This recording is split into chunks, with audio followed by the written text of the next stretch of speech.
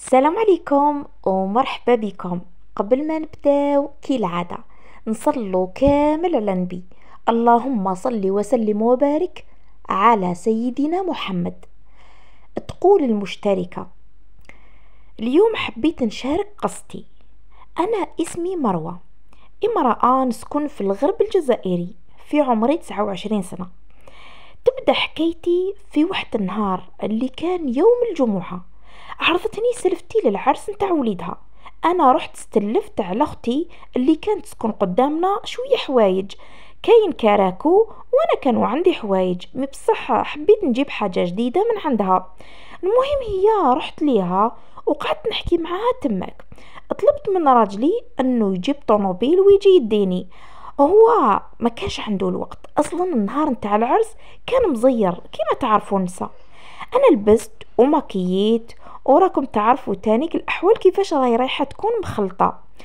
مرت خويا الغدارة اللي عمري ولا راني رايحة نسمح لها. كنت تعرفوا واش دارت راكم رايحين تتشوكاو نتاع الصح. أنا كي سقمت روحي وعدلت أوضاعي رحت للعرس باش نحضر عادي.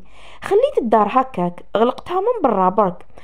مرت خويا جات هي وخويا الخداع اللي الله لا تربحهم إن شاء الله. صوتاو من الطرف نتاع السور صدموا لداري ودخلوا لداخل وفركتوا فيها تفركيت. على بالكم ما كاش حاجة ما مسوهاش. الخزانة هذيك ما خلاو فيها والو. أنا كانت عندي ربة قصيرة راجلي ما خلانيش نلبسها.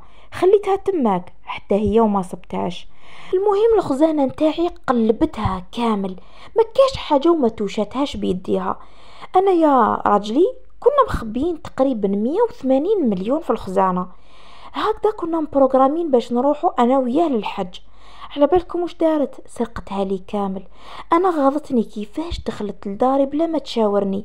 زيادة على هذا كامل واش دارت بينا بلي راهي داخلة تسرق. الحصول كي كملنا العرس وكاع جينا للدار عادي كي أنا كي راجلي.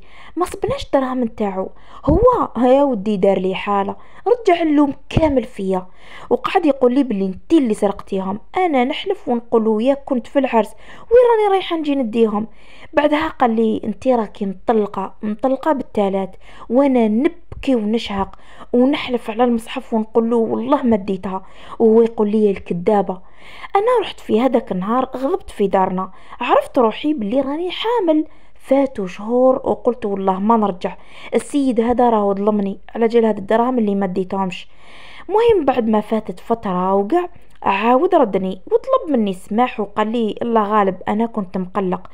ومانيش عارف شكون اداهم كامل. قعدنا نطلعو ونهبطو. شكون راهو رايح زعما يديهم؟ ثم كنت تأكدت باللي مرت خويا بيسك لقيت صوالح بزاف نتاوعي عندها. راجلي نسى الحكاية. وأنا بعد ما قلت خلاص تهنيت وكل حاجة فاتت يا ودي عاود ولا راجلي كتر وكتر مع يماه ولا تتسبني تعايرني بدون أي سبب يذكر. حسبي الله ونعم الوكيل فيها. قواو المشاكل معاها كتر وكتر. وكل نهار تزيد تحرشوا عليا. وهو كل دقيقة يجي لعندي ويقول لي أنتي ما تسوايش أنتي معفونة. المهم بعد ما طلب مني سماح والمياه ولات المجاريها عاودنا ولينا متداوسين ومتضاربين على أتفه الأمور.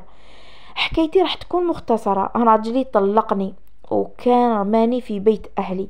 وبالنسبة لمرت خويا دراهم اداتهم كامل كي هي كي خويا وما بان عليهم والو. وأنا الآن راني مطلقة في دارنا.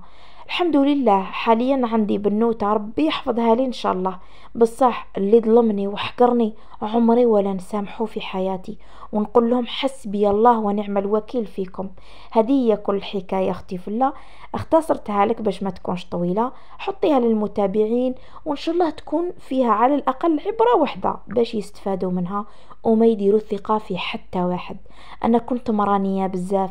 بصح إن شاء الله ربي يعوضني على وش فات عليا. وما يبلي مؤمن بأي بلية.